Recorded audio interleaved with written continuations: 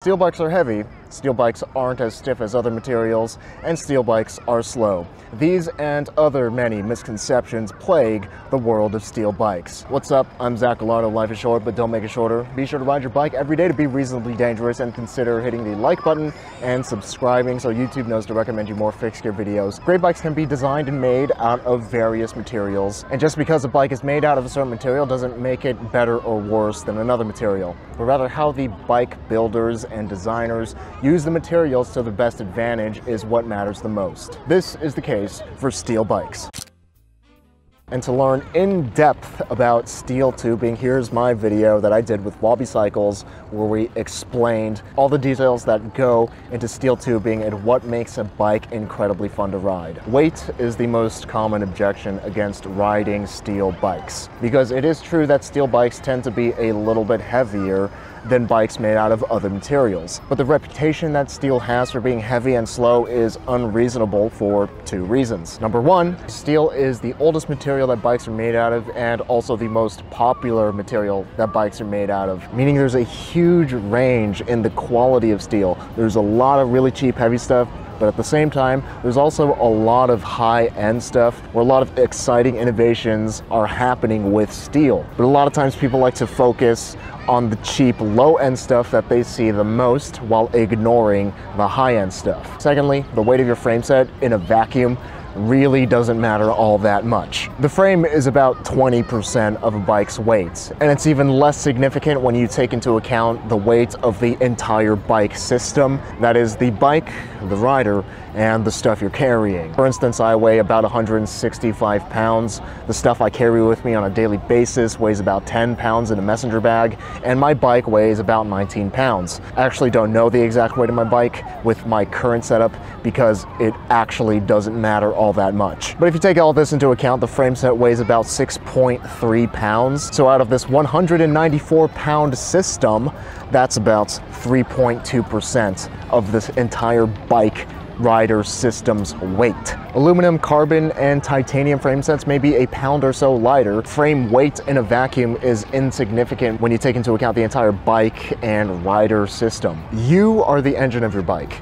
If you want to go as fast as possible on the bike, you need to improve yourself before these marginal differences on the bike matter. If you want to lose a pound or two to go faster, just go to the bathroom before your ride. Unless you're a top tier racer that gets free bikes on the regular, the one to two pound difference between a steel frame sets or one made out of another material is insignificant. Even then, my steel bike with no carbon components is lighter than a lot of fixed gears with aluminum frames and full carbon forks. Where weight does matter to you and me is in its relation to strength and stiffness and how these three come together to form a bike's ride quality. Steel, especially on a relatively lightweight, well-designed frame set, is insanely fun to ride. High-end steel is known for its springy and lively ride quality that also feels buttery smooth to pedal. Very well-designed frame sets that balance stiffness, weight, and strength, like my Wabi Special, are said to plane. Planing is this feeling where the bike flexes with each pedal stroke and it synchronizes with your pedal stroke. It almost feels as though the bike is encouraging you to pedal more and to go even faster. And this experience of planing is the most fun that I've ever had on a bike. Steel is also famous for its bomb-proof durability. College students can happily ride around campus on their parents' steel bikes from the 70s, and some people ride steel bikes that were built before the war. And when I say the war, I'm referring to World War II. Steel is incredibly strong and ages well. Its strength makes it the most practical bike material for day-to-day -day use. It's harder to dent and fracture than frames made out of other popular materials, meaning you can lock it up at a bike rack without having to worry about a clumsy beach cruiser bumping into all the bikes, denting your frame set, and sacrificing the structural integrity of your bike. That durability also means that steel is the safest material to make a bike out of. It's crashable.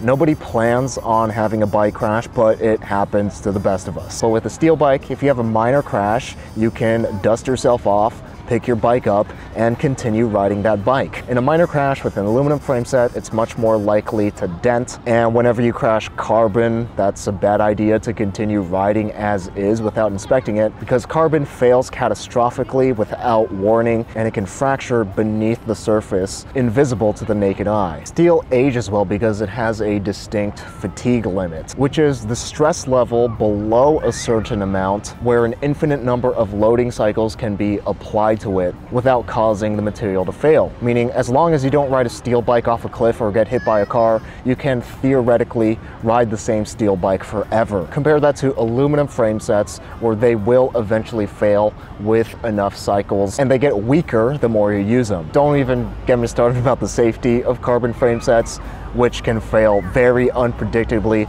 especially when age is added to the equation. Because steel ages well, it also retains its value really well. There's tons of people who restore vintage steel bikes from the 70s and earlier and sell them to collectors and steel aficionados many of whom build up and use these steel bikes on a regular basis. To further illustrate this point, would you willingly buy and ride on a regular basis an aluminum frame set from the 80s? And carbon isn't that old yet, but would you spend your hard earned money on a carbon frame set built in the year 2000? Or in the future, would you purchase and ride a carbon frame set that's 50 years old? Hopefully the answer is no, because you shouldn't, and that's unreasonably dangerous. Steel is also incredibly versatile when it comes to looks. The looks of it can be anything from vintage and classy all the way up to modern. Many steel frame sets have steel lugs, which is the most elegant way to put a frame set together. And because steel is incredibly strong,